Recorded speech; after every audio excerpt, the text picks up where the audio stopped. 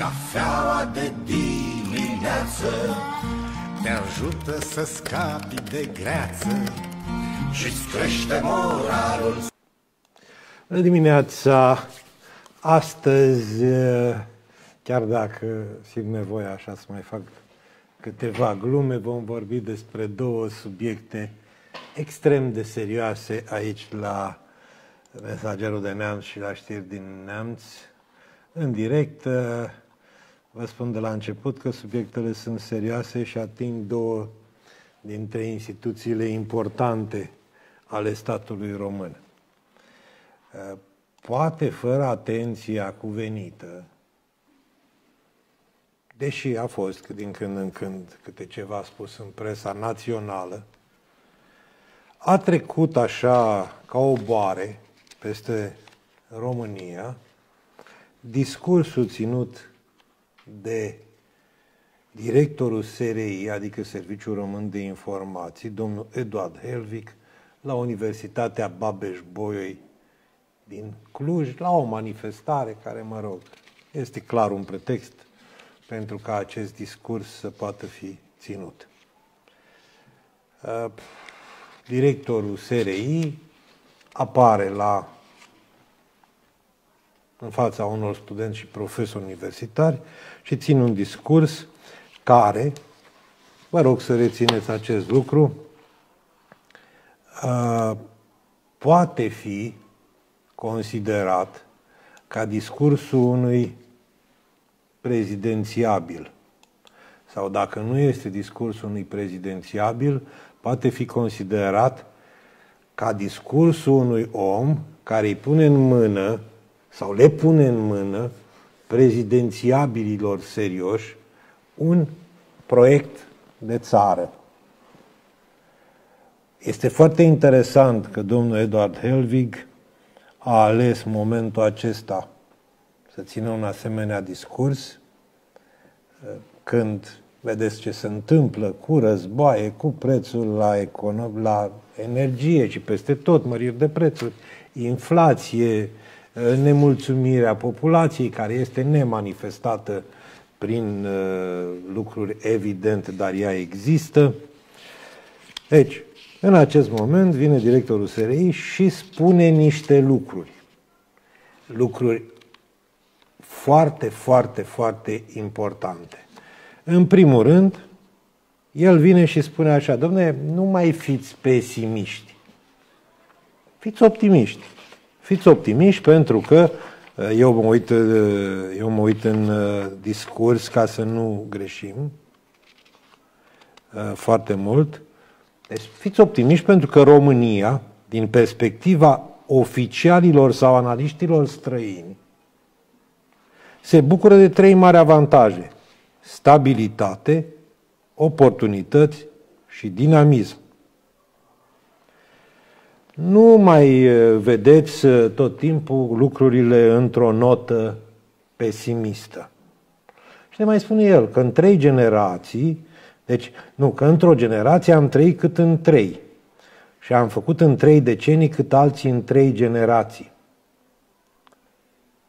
Ni se spune cam așa, nu vă mai uitați că mare parte din industria pe care am avut-o a dispărut am construit altceva și că după anul 2000 am fost în, în zona constructivă, că s-au conturat marile proiecte ale României, adică aderarea la NATO și Uniunea Europeană. E, până aici, cu excepția părții cu optimismul, cam știam discursurile. Cam știam discursul. Ele nu sunt diferite foarte tare față de discursurile politicienilor. Dar, venind din partea unui șef al Serviciului Român de Informații, chiar dacă el a făcut politică înainte, înseamnă altceva. Însă, în momentul în care s-a referit la Serviciul Român de Informații, Eduard Helvig a spus niște lucruri extrem, extrem de importante, cunoscute de toată lumea, dar niciodată spuse de șeful în exercițiu al unui serviciu de informații din România. Și cităm. Este greu să credem că am scăpat de fantomele trecutului, mai ales când viața noastră politică este încă dominată de ele. Deci șeful Serviciului Român de Informații ne spune așa, că fantomele trecutului domină în acest moment viața noastră politică. Este un lucru extrem de important. Deci această declarație reprezintă un lucru extrem de important. Pentru că ni se confirmă că, de fapt, fantomele trecutului sunt cei care încă domină viața politic publică, nu politică numai, publică din România. Și el spune mai departe că SRI-ul s-a transformat, lucru pe care îl putem vedea, dar că a făcut și multe greșeli în cei 32 de ani. Și, cităm, să repar greșelile făcute este un proces complicat, care cere timp, expertiză și foarte mult efort. Greșeala unui șef afectează un întreg departament, iar adesea majoritatea oamenilor din acest departament sunt oameni de toată cinstea. Să schimb părerile oamenilor despre un serviciu secret este și mai complicat, încercăm să o facem treptat. Dar să revenim. Greșeala unui șef afectează un întreg departament, iar majoritatea oamenilor din acel departament sunt oameni de toată cinstea. Chiar dacă nu este spus direct, înțelegem cam așa, că în interiorul departamentelor sunt oameni tineri, școliți mai nou, care își fac treaba, dar că problemele sunt la șefii de departamente. O spune chiar șeful Serviciului Român de Informații. Pare așa ca un fel de declarație pe care o face, care pregătește o și mai amplă reformă, ghilimelele puneți dumneavoastră, dacă e cazul, uh, pentru că domnul Helvig spune eu sunt permanent ghidat de dorința de a construi, nu de a distruge. Cunosc păcatele de care, de care este acuzată instituția, unele reale, altele atribuite nouă pe nedrept. Și acum urmează poate cea mai importantă declarație a lui Edard Helvig. Știu și de problemele generate de unii foști lucrători ai SRI poziționați fie în spatele a tot felul de oameni, politici, șef de firme, se subînțelege, fie gravitând în jurul companiilor de stat. Vă pot spune că suntem conștienți de aceste probleme și vom face tot ce ține de noi pentru a le rezolva. Deci, șeful Serviciului Român de Informații vine și ne spune că știe și este conștient el și serviciu român de informații de faptul că în spatele oamenilor politici, în spatele marilor firme, în spatele cine știe cui, se află foști lucrători ai SRI și mai grav, în jurul companiilor de stat. Modul în care o spune că acești oameni generează probleme, deci generează probleme, ne duce cu gândul că s-a ajuns foarte departe cu aceste lucruri și că șeful Serviciului Român de Informație a simțit nevoia să iasă în față și să transmită un mesaj. Băi, aceștia care știți multe lucruri. Ați lucrat în SRI și nu numai în SRI, în servicii. Și v-ați retras, liniștiți-vă că nu se mai poate. V-ați infiltrat în zona companiilor de stat, v-ați infiltrat în politică, v-ați infiltrat în economia privată. Uh, recunoașterea acestei stări de fapt de către un serviciu al, de către un șef de serviciu de informații aflat pe funcție este extrem de important în acest moment. Practic, el spune ceva de genul, măi, ar cam fi timpul să ne întoarcem la ce se spunea pe la Timișoara la un moment dat, apropo de foștii, raportându-ne la Serviciul Român de Informații. Adică oameni care în ultimii 32 de ani au ieșit la pensie și care acum se află în spatele politicienilor, în spatele unor oameni de afaceri, în spatele companiilor de stat, unde în mod normal cei care sunt puși să conducă au nevoie, în cele mai multe cazuri, de certificate ORNIS eliberate până la urmă și cu, în urma muncii, Serviciului Român de Informații. Tabloul care ni se prezintă în momentul în care citim cu atenție sau ascultăm cu atenție uh, ceea ce a spus Eduard Helvig la Cluj, în ciuda mesajului optimist pe care îl transmite șeful Serviciului Român de Informații, nu este deloc unul care să ne insufle să ne injecteze uh, o mare încredere în viitor. Decât dacă se va hotărâ cineva să stopeze aceste lucruri, dar ele practic nu pot fi stopate bătând sau făcând așa. Este un întreg sistem care funcționează. Mai spune ceva Eduard Helvig și după aceea nu mai vorbim foarte mult despre lucrurile astea. Citez, prea mulți politicieni în deceniile anterioare s-au obișnuit să primească indicații cu ghilimele sau sugestii despre ce au de făcut de la oameni din servicii de informație. De informații el spune cam așa, băi, băieții ăștia care sunteți politicieni, ia apucați-vă voi și gândiți cu mintea voastră, că de-aia sunteți puși acolo, noi să ne facem treaba noastră de protejare.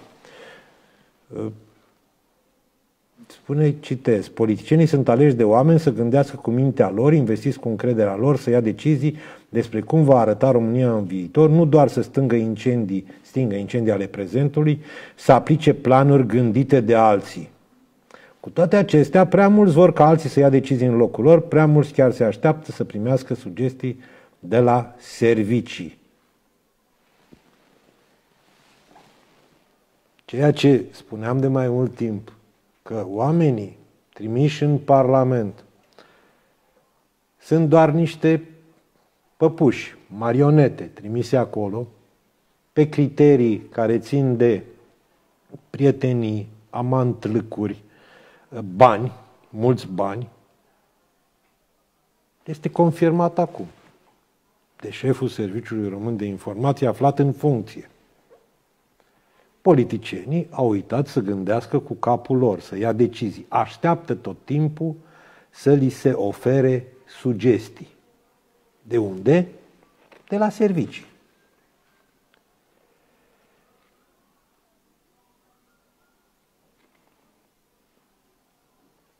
Mergem mai departe. Se vorbește despre arhiva, mă rog, etc., etc. Dar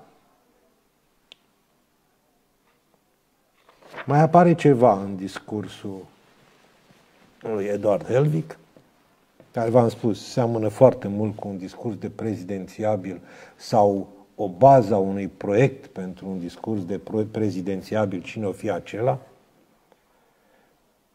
Deci, el vorbește despre viitorul României. Și aici vine cu un mesaj extrem, extrem de important. Pentru cine vrea să audă și cine nu se ferește de asemenea subiecte. El spune așa, viitorul României vine cu oportunități și riscuri. Iar riscurile cele mai importante țin de polarizare și blocajul involuntar în trecut. Adică polarizare, împărțirea societății în segmente antagonice, adică care se ceartă cu ele, care nu discută, care nu au puncte comune de la care să plece pentru mai binele societății. Și ce spune domnul Herdic? Suntem din ce în ce mai polarizați în societate, iar polarizarea, ca și extremismul sau populismul, este un mare risc. Polarizarea este folosită de cei care își doresc o Românie coruptă și instabilă.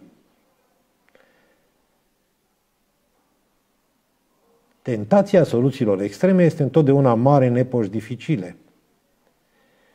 Validarea rapidă, explicațiile facile, spectacolul gratuit fac parte din arsenalul celor care vor să destabilizeze o societate care încă nu are încredere în ea însăși. Antidotul, în viziunea lui Helvig, este concentrarea pe muncă, pe construcție, pe rezultate și recursul permanent la valori. Adică, mi se spune să ne concentrăm pe muncă, să mergem spre valori. Care valori? O să vedem imediat care valori. Dar, înainte, ni se spune că avem polarizare. Adică, avem fragmente de societate care declară război altor fragmente de societate. Avem uh, partide care sunt în război, nu în competiție cu alte partide, și societatea este ruptă. Profesorii sunt puși cap în cap cu părinții sau elevii, medicii cu pacienții, nu mai vorbesc de PSD cu PNL, că aici deja lucrurile sunt mai complicate, USR cu nu știu cine, ăia cu nu știu cine, aurul cu nu știu cine.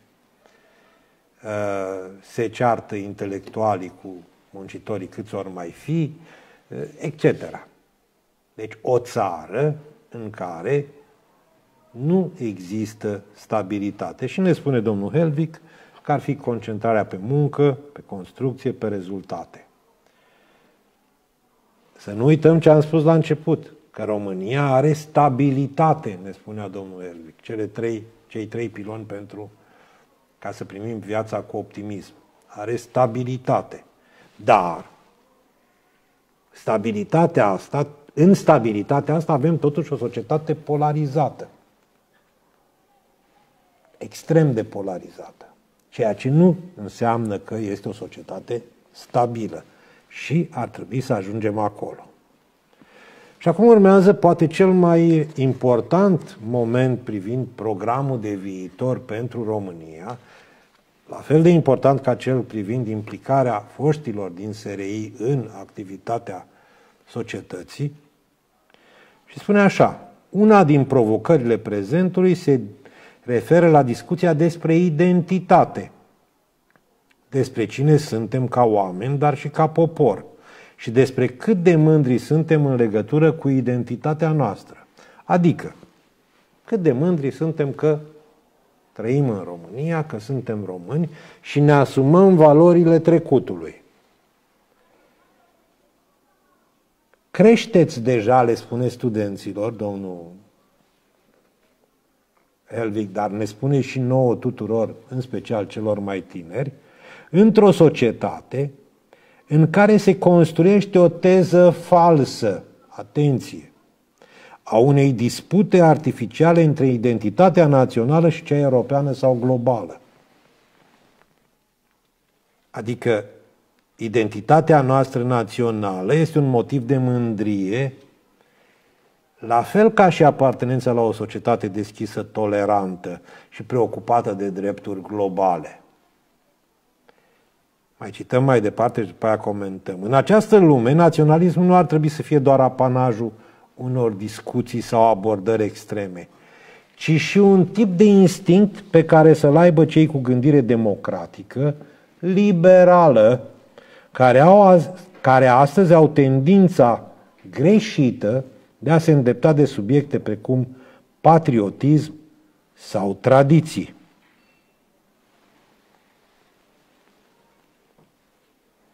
Nu vi se pare interesant?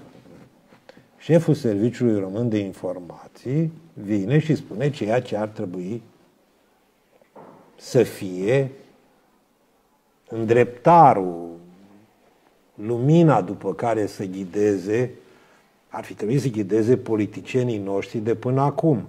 Adică, bă băieți, e bine că ne uităm în Europa, e bine că ne binoclăm și pe binoclu se vede curcubee curcubeu. Deci binoclul au deja curcubeu pus pe el. Dar hai să ne uităm un pic și la ce suntem noi, cât de important suntem noi, fără exagerări, în istorie, să ne mândrim cu ce am făcut și să nu dăm cu piciorul la tradițiile noastre. Că dispărem. Cam asta este esența mesajului. Și mai spune ceva domnul Helvig. Privilegiile asigurate cetățenilor în ultimele sute de ani, prin intermediul ideii de contract social, reprezintă un motiv de mândrie. Dar ele nu sunt un dat absolut. Știți care? Liberté, egalité, fraternité, etc. Și urmează, iarăși o frază interesantă, de aceea, cred că sprijinul pentru democrație poate coexista cu atașamentul față de valori tradiționale. Religie, elemente de identitate națională, adică să nu dăm cu piciorul în elementele care au menținut această nație în istorie, cu bune cu rele, cu foarte rele, cu foarte bune. Adică religia și trecutul nostru istoric, partea care ne asigură identitatea națională. Trăim într-o comunitate care și-a câștigat prin sacrificii extreme, timp de sute de ani, dreptul de a avea o țară proprie, o limbă, o graniță, un steag – spune domnul Elvic și continui eu. E cam aiurea să spui că am luptat sute de ani pentru ceva și acum să renunțăm la ele pentru că așa vor globaliștii, generic spus. Mesajul șefului Serviciului Român de Informații pare că este un fel de strigăt, așa, undeva în fața unui hău, Domne, hai să ne trezim și să mergem pe niște lucruri care să ne mențină în istorie.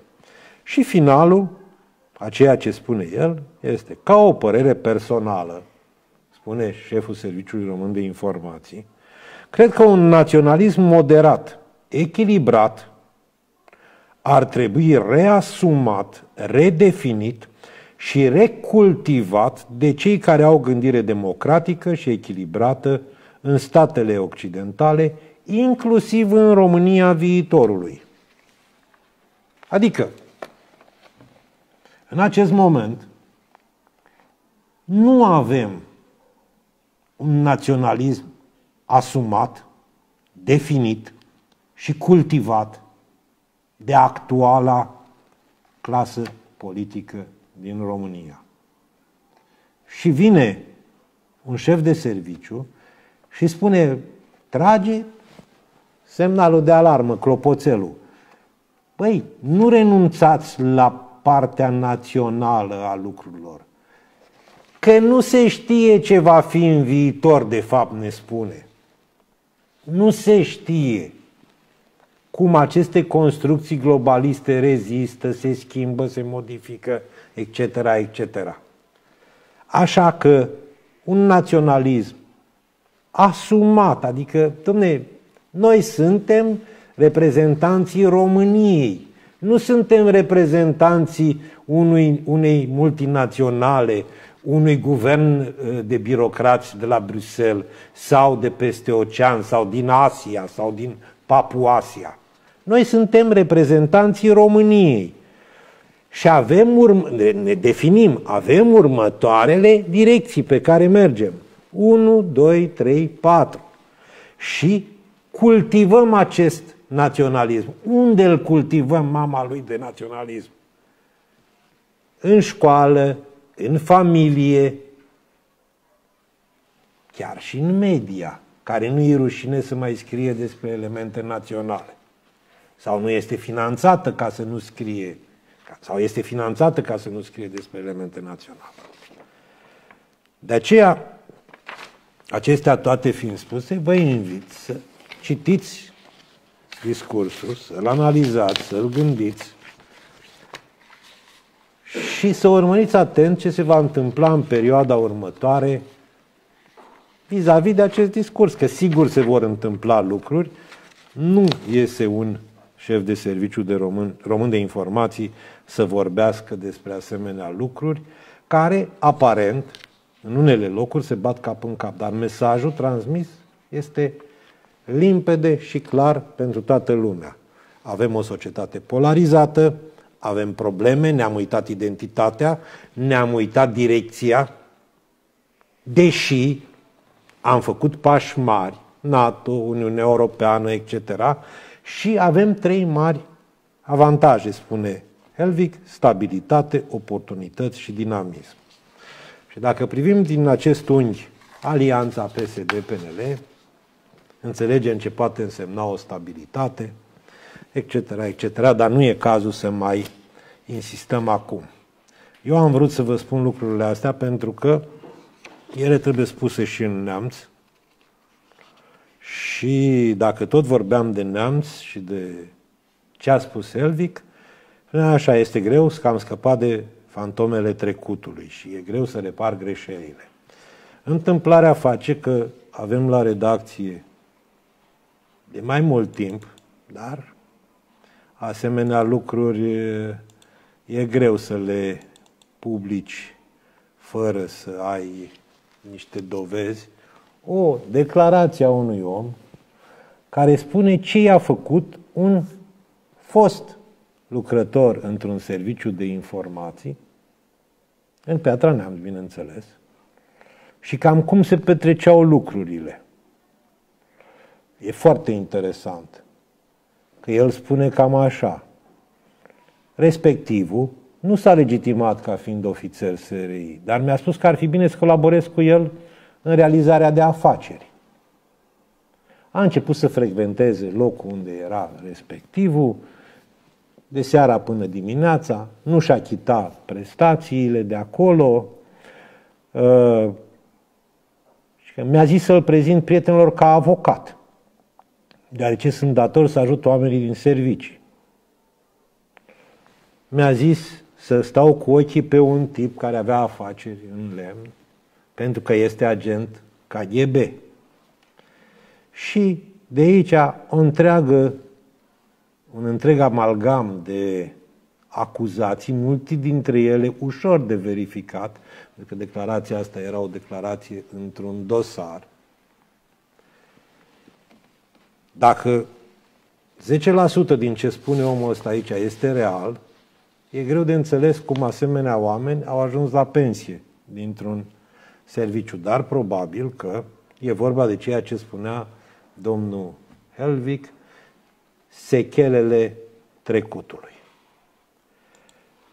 Cam atât pe subiectul ăsta.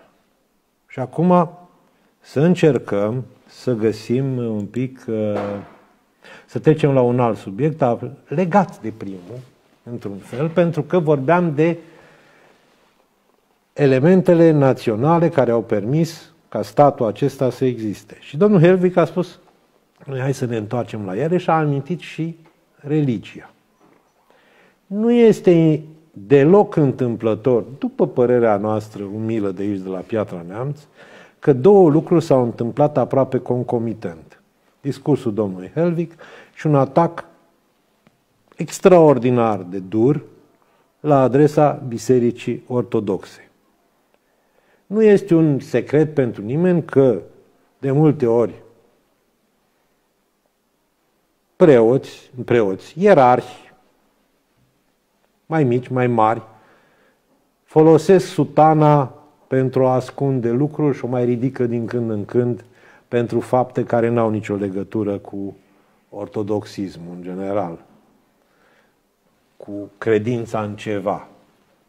E, acum este la modă, și v-am spus, nu cred că este întâmplător lansat pe piață, scandalul cu un deputat de pe undeva de prin sud, Bălășoiu, și un fel de băiet care a dat pe la a vrut să se facă preot, a fost dat afară din biserică, mă rog, i s-a ridicat, nu știu cum se cheamă,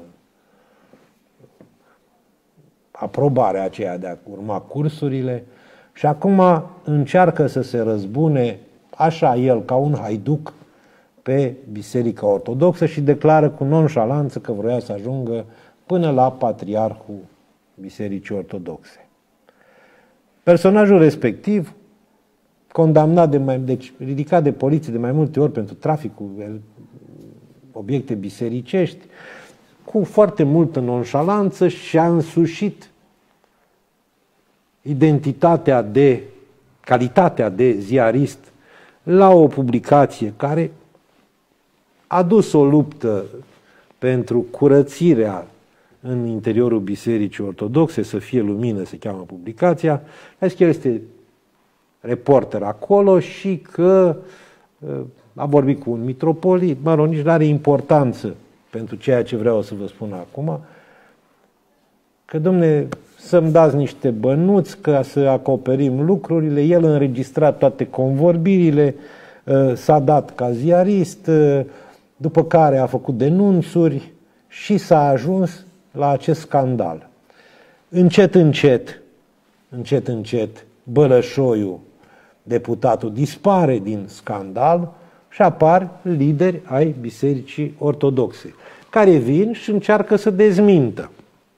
De ce a prins acest scandal și a fost el foarte tare dat, împrăștiat pe anumite zone ale mediei. Pentru că există elemente care dau credibilitate scandalului. Avem cazul fostului episcop, parcă de la Huș, da? Onilă. Și toți cei care erau implicați în scandalul sexual, cu tentă sexuală de acolo. Domnul Onilă, acum este domn, fost bine mersi, adică el cât timp a fost în cercetare, a primit uh, un fel de domiciliu din partea bisericii. Și în neamț a fost la un moment dat, dacă nu mai fi și acum, mi s-a pus la îndemână o întreagă vilă cu șofer la dispoziție, același șofer care probabil participa la orgiile de la Huș, a primit salariu de la statul român, a fost protejat.